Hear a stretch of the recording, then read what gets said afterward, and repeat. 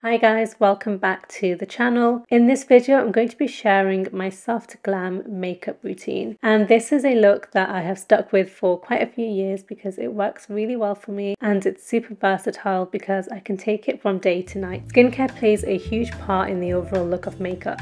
As I'm currently traveling, these Elizabeth Arden hyaluronic acid capsules are perfect. They're very travel friendly and they give my skin such an amazing boost of moisture and hydration. As I'm in a hot climate, I'm using the Augustinus Bader Light Cream. This is perfect because it's not too heavy so your makeup won't slide off. One of my favourite lip balms is the Laneige Lip Mask. I use it day and night.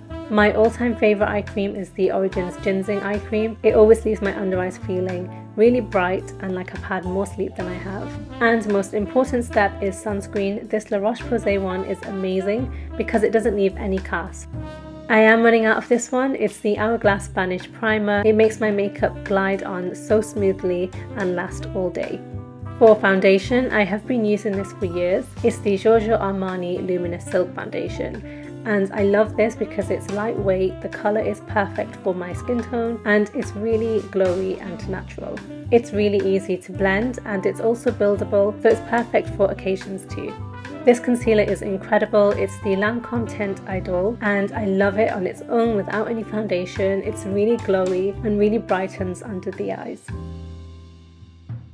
I'm using the Charlotte Tilbury Airbrush Bronzer and I'm using this to kind of contour and also add a lot of colour into my skin. I love the colour of this one because it's warm and natural. This is the Rose Inc Cream Blush called Hydrangea and it looks really scary in the pan but when it's on the skin it's so beautiful and glowy and it's really easy to blend. You only need a small amount. It leaves my skin looking really fresh. I love this Dior Brow Styler. It's really quick and easy to use so if you're a beginner when it comes to filling in your brows this is a really great product. I just follow the natural shape of my brows and I use the spoolie side to blend it in to make it look more natural. And I just repeat the same on the other side and try and match my eyebrows as best as I can.